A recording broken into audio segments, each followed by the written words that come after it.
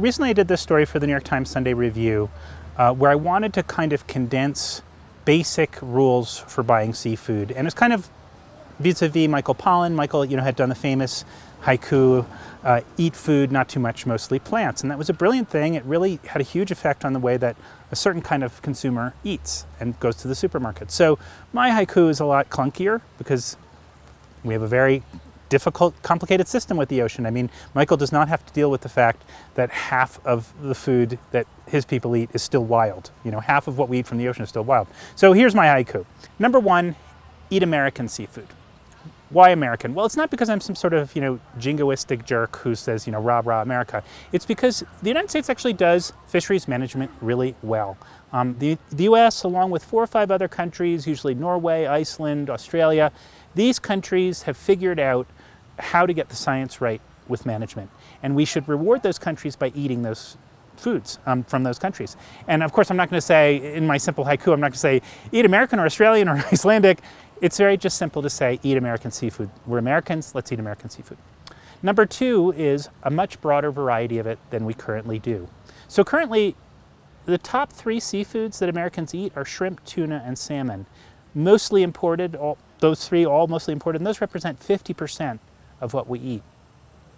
If we were to branch out away from those big three to embrace a much broader variety of species, I think that we could probably be more or less self-sufficient with our seafood here in the United States. But instead what's going on is we're not eating really great things like black cod that you might find at Nobu, for example, um, like um, a lot of pink salmon that is not usually on the menu.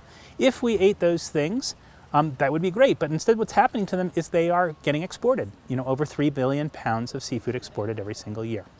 So that's number two. Number three, mostly farmed filter feeders. This is probably the clunkiest part of my haiku, but a farm filter feeder is basically a mollusk, a clam, a mussel, an oyster. These creatures are tremendously good for the environment. The average mussel or clam filters many, many gallons of water per organism per day. They clean the water. Um, mussels are as high in omega-3s as most canned tuna. Um, they create great structure and habitat for other fish.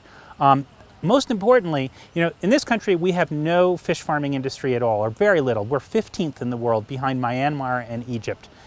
If we were to build a farmed seafood economy around mollusks, around mussels, clams, oysters, that would be great because the other thing is that when you think about farming of fish, when you farm a carnivorous fish like a salmon, you have to feed it fish. And even though they've gotten those feed conversion ratios way down in recent years, it's still a net loss many times when you create a salmon on the farm. Mollusks, mussels, clams, oysters are creating food for us. We don't have to feed them anything.